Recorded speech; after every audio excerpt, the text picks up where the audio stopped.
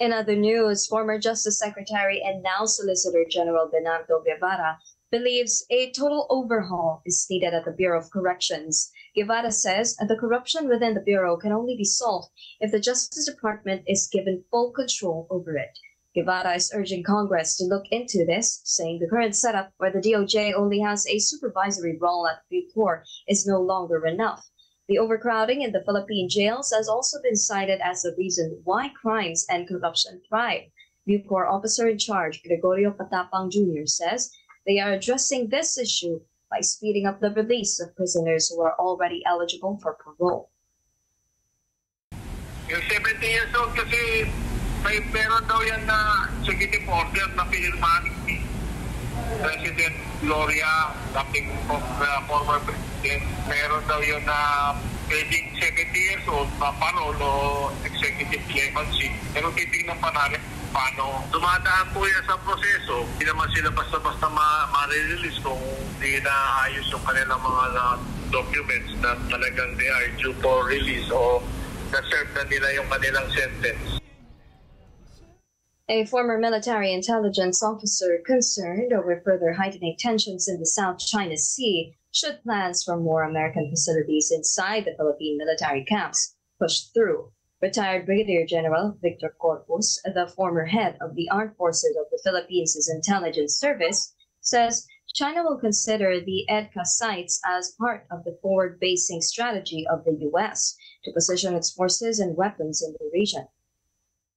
Tayong maiipit sa gitna. That we will become the battleground and the war can be nuclear in nature. We will become the battlefield like what they are doing now in uh, Ukraine. Sino nagkakamatayan sa Ukraine? Yung mga Ukrainians, hindi mga Amerikano. Do our leaders uh, want that to, ha- to happen to us?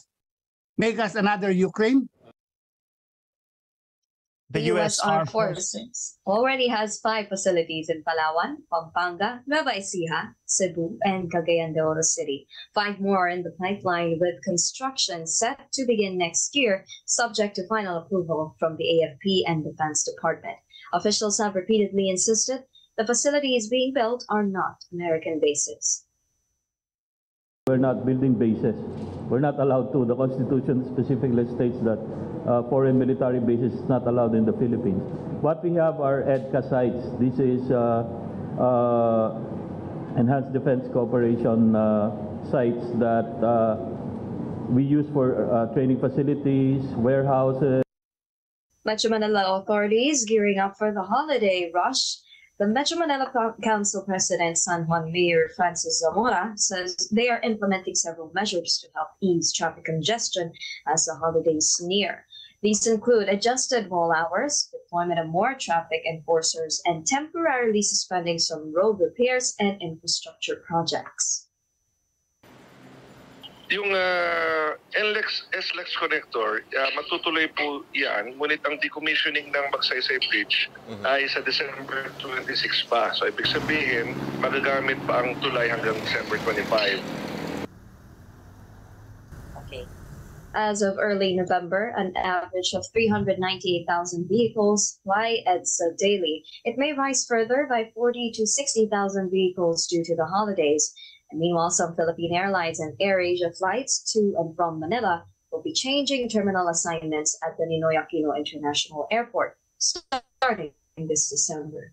The airport authorities say the changes are in line with operational requirements and preparation for the holidays.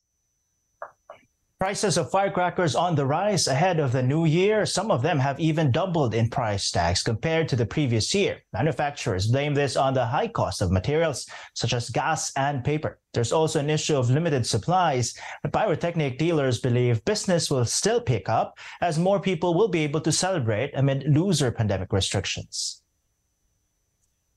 yung demand ngayon hindi namin tataas in the sense na mataas na rin po yung capital ng chemicals.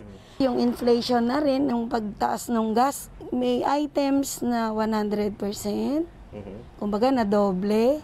Meron naman po yung mga items na 75% ang itinaas.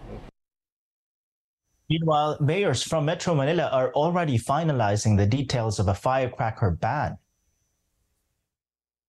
yung ah, ating ah, magiging firecrackers ban din nga po sa New Year's. No? Magkakaroon ng uh, designated uh, firecracker areas. Ngunit uh, depende rin yan sa mapapakasunduan ng mga mayors because each city will have its own designated uh, fireworks area no para nga iwas syempre sa mga aksidente ngayong uh, bagong taon.